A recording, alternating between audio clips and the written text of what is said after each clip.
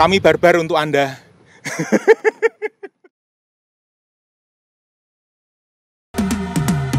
Cause I've been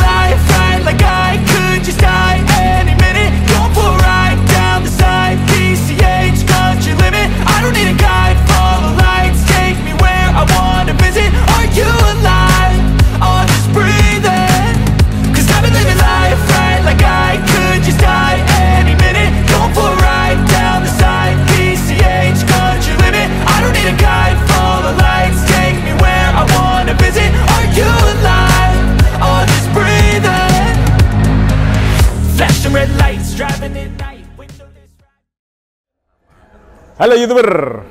Hari ini kami ada di Buzzworld dan oh, coba dilihat nih sumber alam eksibitor guys.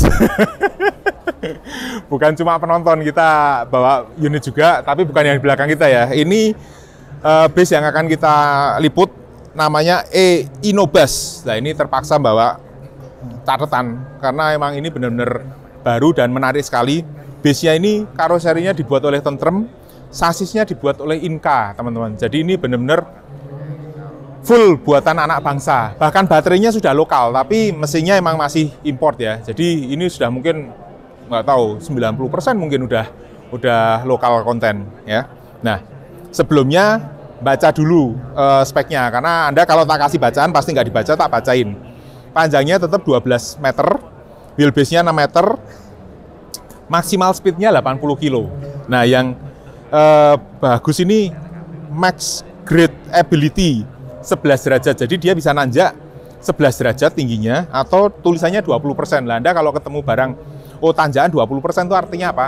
Setiap 100 meter dia naik 20 meter, 20 persennya dia, ya.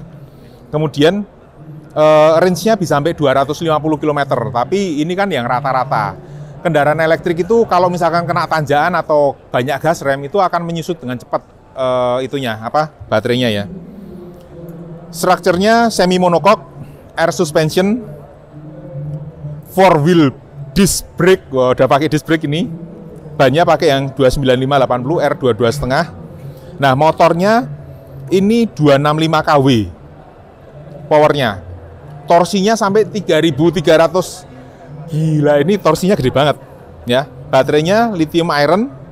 Kemudian charging time-nya 3 sampai 4 jam. Tapi kita nggak tahu apakah itu akan full atau cuma 80%. Karena kalau fast charging biasanya nggak bisa sampai eh, 100% ya.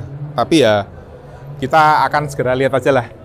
Langsung aja dari tampilan depan ini lampunya kelihatannya masih custom. Kemudian nggak ada grillnya. Orang biasanya mikir oh mesin belakang, tapi ini elektrik. Kemudian atas ada penunjuknya ya.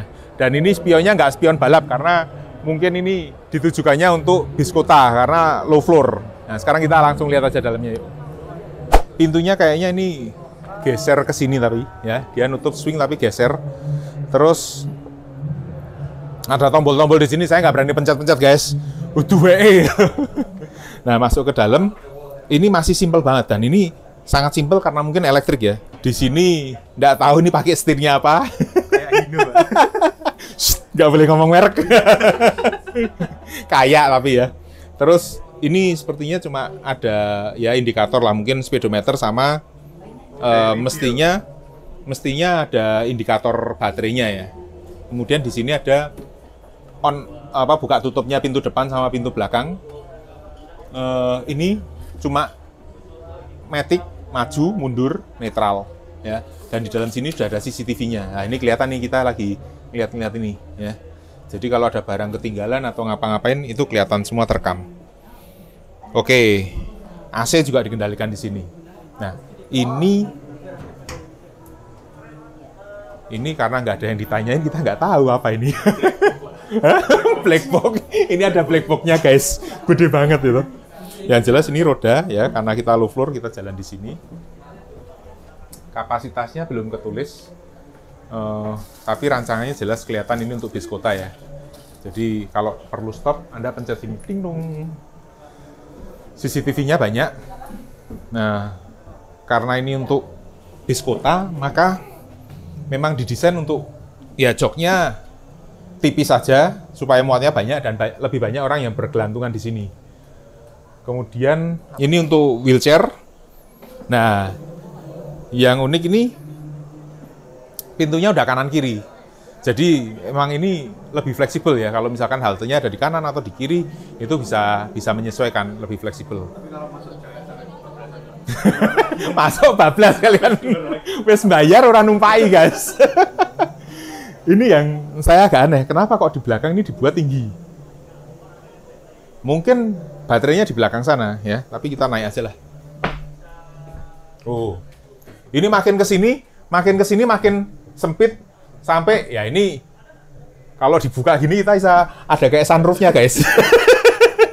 Tapi nggak boleh ya di bis kota buka sunroof nggak boleh loh.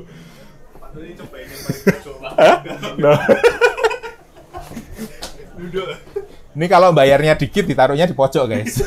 Jadi kepala mentok, tapi dengkul lebar ya. Dan ini udah disiapin juga eh, apar. Ini bisa mepet sampai belakang, mepet-pet. Berarti ini kalau di bis yang konvensional kita duduk di atas kap mesin ini. Kandang macan ini guys. Itu. Oke, kapasitas tempat duduk kita hitung aja 1, 2, 3, 4, 5, eh, 9, 13, 17, 21, 24, 26, tambah 2, 28, ya 28 tempat duduk lah ya. Kemudian berdirinya bisa banyak ini kalau diuntel-untel. Oke, sekarang kita akan lihat bagian belakangnya yuk. Oke, ini berarti memang bisa untuk wheelchair ya, naik turun. Itu. Ini rendah sini. Dan ini tadi ditawarkan untuk mungkin jadi angkutan di G20 Bali. Nah, kalau tampak belakangnya ini terlihat simple tapi bagus ya. Ada lampu remnya udah model garis-garis gini. Dan ini sepertinya masih custom. Jadi eh, ini di sealer aja semua. Kemudian ini di sini Oh, bisa kita buka, guys. Loh, toh. Pistonnya mana, Pak? Ini udah nggak ada bunyinya. Ini tapi isinya kabel semua, ya. Kalau sembarang Matang mateng guys ini gede banget ini kayaknya baterai sama eh, semua peralatan instrumen untuk ngatur-ngatur itu lah ya dayanya ya. Itu. Oke. Nggak banyak yang bisa diceritakan karena nggak boleh dibongkar.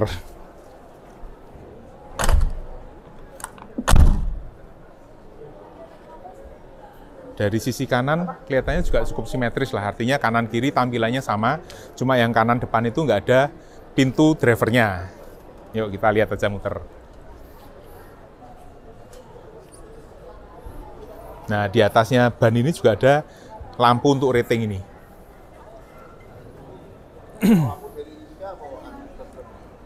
Oke, ini kita yang nggak tahu kalau ngecas colokan listriknya ada di mana ini. mungkin salah satunya mungkin di belakang sini ya. ya jadi ini di sini nggak ada nggak ada pintu drivernya. Jadi pintunya cuma ada di sebelah sana dua dan di kanan satu untuk keluar masuk penumpang. Ini sudah ada kayak dashcamnya ini ya. Jadi kalau anda yang sos atau anda yang pada ngoyot-ngoyot itu warware-warware di depan bis sampai jatuh itu kerekam ya. Jadi dia tidak bisa disalahin. Itu. Jadi interiornya ini dikatakan eh, telematiknya sudah ada sehingga dia bisa menyediakan automatic passenger counter guys. Ini buat bis kota berarti Sarkawi juga bisa dihilangkan di bis kota. Soalnya dihitung ini, saya nggak ngerti ngitungnya gimana ya running text. Wah ini yang paling menarik ini automatic passenger counter, paling enak itu ya. Jadi kita kayaknya perlu belajar mengenai eh, teknologi ini. Oke, demikian eh, bis buatan tentrem, bis elektrik buatan tentrem yang kita liput kali ini. Tetap sehat, tetap semangat, tetap bermanfaat.